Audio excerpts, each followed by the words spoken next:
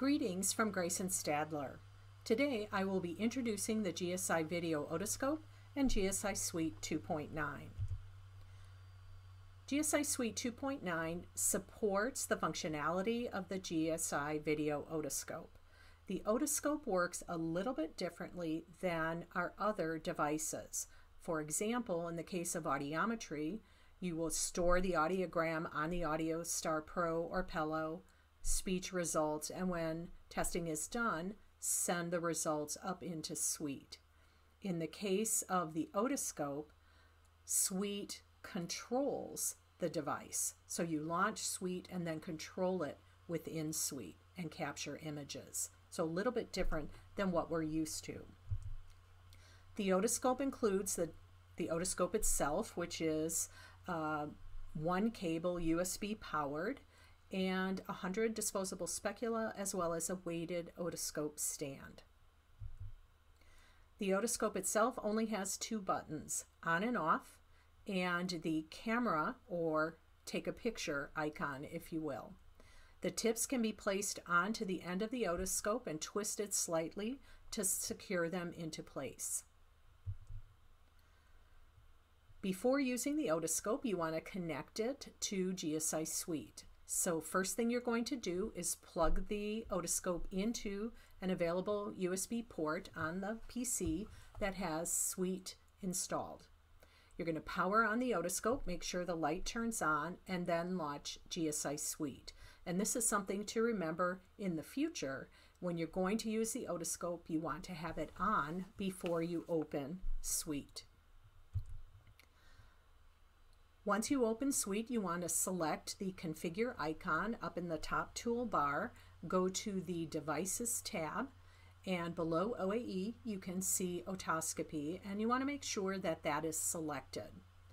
In that same window, scroll all the way down to the bottom, and you'll see the video otoscope there.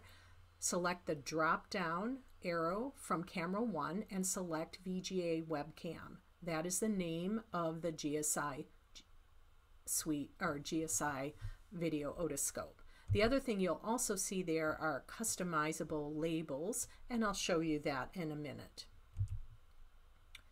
Once it's connected, you'll be able to see up at the top a new icon, a cute little uh, otoscope there, that when it's connected and you're ready to test, it'll be white. We've added the otoscopy tab to the right of tympanometry, and once you're in otoscopy, you'll be able to see how the images are organized for ear canal, outer ear, and other. With the otoscope, you have to have an existing patient selected or a patient with at least an ID or a patient ID entered. So you can't launch Suite and start taking pictures. You have to have a patient selected. And once you've selected a patient or created a new patient, then you're able to proceed. When you select the otoscope icon, the otoscopy test window will appear. In the middle of the screen is the live video. So the otoscope, if you move it around, will be taking a video of whatever your um, pointing it at, if you will. So that's your live video. To take an image, you can press the capture icon at the top of this window or just press the button on the otoscope itself. You can capture up to 24 images and if there's more than eight, a scroll bar will appear and you can scroll over and look at all of those uh, images. It will not save those 24. It will only save assigned images and you can assign six images per ear. In this example, we have the ear canal 1 and 2 and we've only assigned one of the three pictures. There's also outer ear 1 and 2 and other 1 and 2. Remember the customized labels in the configuration menu in this example, hearing aid serial number was one of the customized labels. So if I had a hearing aid, I could take a picture of the serial number and store that, that image. So to to assign an image, you just drag and drop it into the, the category um, that you want it to save. And if I zoom in after I've assigned uh, an image, if I zoom into it, you have the trash can icon on the right, which will delete it. You have the four arrow icon, which will enlarge the image. And then you have a check mark if that image has been assigned, dragged down to the right ear or left ear. Kind of hard to see on the three images here. And then finally, you can add notes under each image if you want. You just simply click in there and type away. So once you're done, you've assigned your images, um, you want to press save.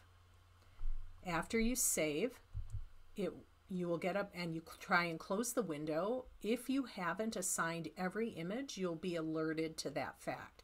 In this example, I've only assigned one of the three images, so those other two are going to be del deleted. So in other words, every captured image is not saved by GSI Suite. Only the ones that have been assigned are saved. So let's see how this works. So in this example, there's a patient ID there. I'm going to click on the otoscope icon. Here you can see the live video of an ear canal. I'm using my mouse to capture the image or take the picture, but I can press the button on the otoscope if I want. Once I'm satisfied with the pictures that I've taken, I can assign them by simply dragging and dropping them into the appropriate location. In this case, I'm in the right ear. I've assigned one. Now I'm going to assign a second ear canal. So by assigning it, that means I'm saving it. And even though this is ear canal, just for demonstration, I've saved an outer ear and an other. And then I'm going to save my, my assigned images and close the window. And here you can see I only assigned four of the five. So I'm alerted that one is discarded. Here are my two for the ear canal, the outer ear image, and the other image. And that's all there is. The other thing you can do is actually go in and edit results. So for example, if you forgot to add some text below the image and you want to to add that or if testing was interrupted and you need to take some more images say for the left ear you can do that so way the way it works is obviously you have to have the uh, device connected to Suite and on. And then if you look at the otoscopy icon, it's grayed out, but there is a drop-down menu there. So if you select that, you can go to Edit Tests because I already have images there, so I, I'm going to edit. Again, you're in otoscopy test, you've got that live video as if it were a brand new test. In this example, I'm just adding to the bottom of that saved image. Here you can see what happens when I enlarge it. So, but if I wanted, I could take more pictures and assign them. So once I, I'm happy with my edits, I can save it and then I can close it. And now you can see the texts are added um, to the bottom of that image. So that is how to edit your otoscopy findings. Moving on to reporting. In GSI Suite 2.9, the Manage Templates location has changed. From the main screen, the configure icon now has a drop-down menu, which includes configuration, so the traditional configuration, but also the Manage Templates section. So if you're going to go in and add otoscopy to a report or modify some of your reports, this is where you're going to go, Manage Templates. In this case, in this example, I've selected a template and I'm going to edit. And if you look on the left side of the screen at the bottom, we've added otoscopy. So the otoscopy elements are otoscopy image and otoscopy test information. So just like everything else in Template Manager or Editor, you're going to drag those images over and into your reports. In GSI Suite 2.9, we've added two new uh, locked report templates.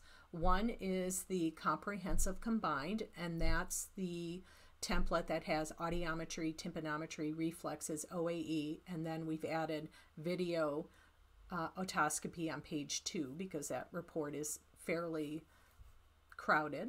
And then we've added an otoscopy only template. Okay, so let's review. GSI Suite 2.9 supports the GSI Video Otoscope. The Video Otoscope within Suite allows you to capture up to 24 images. It will allow you to save 12 images or six per ear and will also allow you to go in and make edits to your otoscopy test data. And then finally, the Manage Report Templates has moved to the main screen under the Configuration dropdown. Look for the video otoscope to be added to other GSI devices in the future. Thank you for listening.